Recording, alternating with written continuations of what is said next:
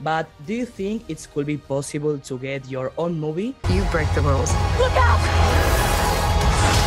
Become a hero. I do it, I become the enemy.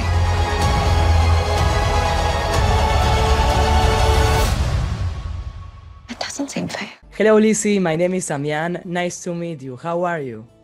Ooh, I'm good. Look at your Scarlet Witch in the back there. Yes, and this. Thank you so much for your time. I'm meeting now my favorite actress, and I am going to talk about one of my favorite Marvel characters. So, this is a dream come true for me. Thank you so much for your time. I appreciate Oh, I'm really happy I get to be here. Wanda, what do you know about the multiverse? Vis had his theories.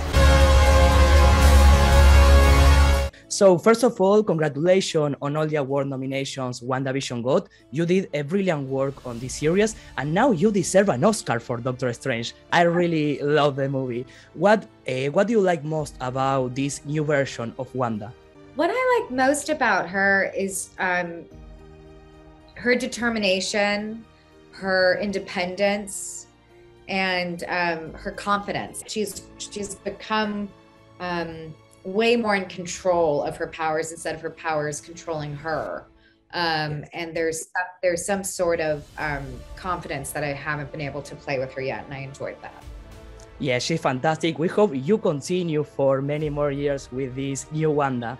And Sam Raimi mentioned that they had to cut down many scenes in the movie. Is there anything that didn't make it to the final cut that you would like to see in the deleted scenes or any cameo appearance that we couldn't see in the final cut? I haven't watched it, so I'm not sure. No? I haven't seen it yet. I will. Okay. I want to watch it at the premiere because it makes me anxious. okay, okay, I surprised. And we and we know the end of the movie was chaotic, but do you think it could be possible to get your own movie? And what do you think you still have to explore with Scarlet Witch? I'm not sure what's next. Um, I'm I would be excited to do my own film, absolutely. Um, but the story has to be there for um, it to satisfy fans and audiences. And I, I don't really know what comes next. I feel like fans usually have better ideas about these things, and and I Yeah, hear what they would like next. Um, you know, without this, without spoilers of, of what is in this film, because um, I think that's part of the joy of watching this movie is is not knowing what's going to happen. yes, I cross my fingers for it to happen your own movie in the future. Every morning, the same nightmare. And without giving away any spoilers, we know there's going to be a lot of amazing cameos in the movie.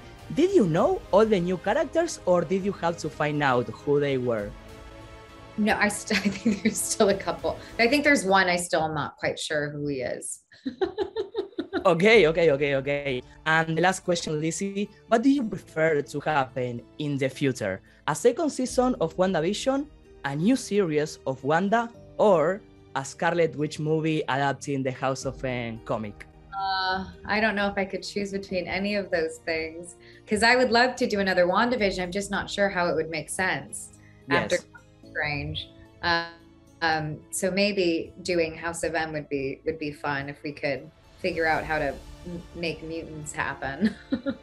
Okay, I hope so. Well, thank you so much for your time, Lizzie, and congratulations for the movie. I hope you know we love you lots here in Argentina, and we hope you visit one day.